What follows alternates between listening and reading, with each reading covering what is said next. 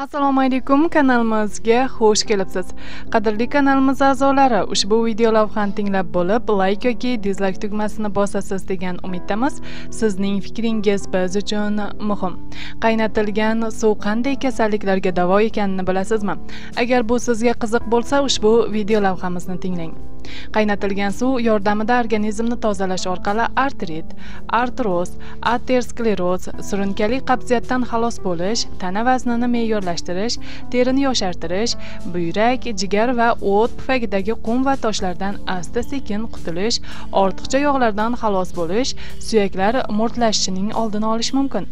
Agar qaynatilgan suv yordamida davolanish davrida yengil og'riqlar sezilsa bu organizmni tozalash jarayonining me'yorida va to'g'ri kechayotganidan tananing turli tiqilma va zararli moddalardan xalos bo'layotganidan darak beradi.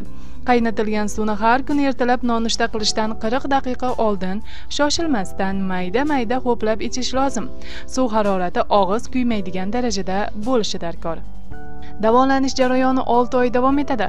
Agarda umurtqangizda kasallik bo'lsa davolanish davrida og'riq sezishingiz mumkin.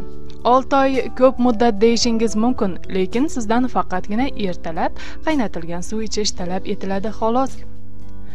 Hozircha shular kanalimizni kuzating va doimo sog' salomat bo'ling. E'tiboringiz uchun rahmat.